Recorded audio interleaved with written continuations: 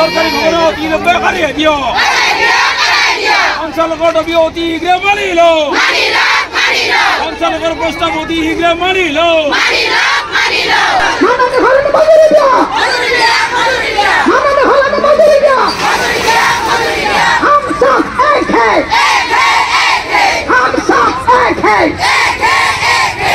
কম চৰকাৰৰ নীতি।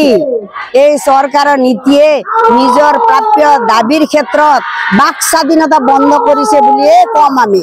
কাৰণ আমি তেখেতে বান্ধি দিয়া এই চচলত আমাৰ বিভিন্ন জিলাৰ পৰা অংগনবাদীবিলাক আহিছিল বাধা আৰোপ কৰিছে। ট্ৰেইনত উঠিছে ট্ৰেইনত উঠি ইয়াত অংগনবাদী আছে নেকি? ইউনিফৰ্ম পিন্ধা চাইছে। প্ৰশাসন বিভাগ তেখেতসকলক প্ৰশাসন বিভাগ লগাইছে বাছ যিবিলাক আহিছে বাছ বন্ধ কৰিছে। আমিতো ধিক্কাৰ জনাইছো নিজৰ প্ৰাপ্য দাবীৰ ক্ষেত্ৰতো যদি মাত মাতিব নোৱাৰো তেনেকুৱা চৰকাৰৰ তলত কাম কৰি আছো আমি নিজে ধিক্কাৰ অনুভৱ কৰিছো চৰকাৰকো আমি ধিক্কাৰ কৰিছো। এই ক্ষেত্ৰত আমাৰ অংগনবাদী কৰ্মী সহায়িকাক বি এল কামত নিয়োগ কৰিছে কামটো কৰি আছে। বছৰত কিবা এটা মাননি দিয়ে বি এলৰ ফালৰ পৰা।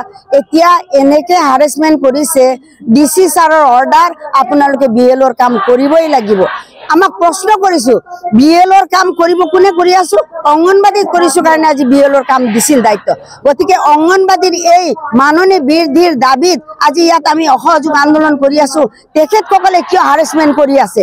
আমি প্ৰশ্ন কৰিছো তেখেত যদি ডি চি হয় তেখেতে যদি কৈছে বি এলৰ কাম কৰিব লাগে ডি চি মহোদয় আপুনি মুখ্যমন্ত্ৰী মহোদয় কিয় ক'ব নোৱাৰে? যে সামান্যতম মাননি আপুনি বৃদ্ধি কৰি দিয়ক বঢ়াই দিয়ক আপুনি কৈ দিয়ক তেতিয়া এওঁলোকে বি এলৰ কাম কৰিব বুলি। আমিতো বি এলৰ কাম এই সময়ত নকৰো?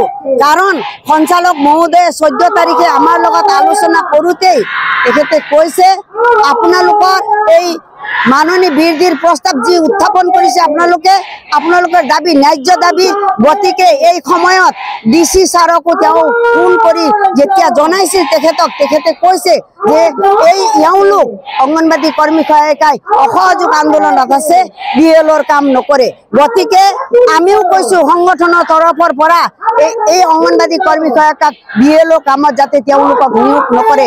যদি বি এলৰ কাম কৰিব লগা হয় তেনেহ'লে ডি চি মহোদয় আপুনি মুখ্যমন্ত্ৰী মহোদয় কওক এই সহায়িকাৰ দাবী মানি লওক। ইয়াৰ পৰা আমি ঘৰত গৈ যিমান কাম আছে কৰাৰ কাৰণে প্ৰস্তুত আছো সাজু আছো।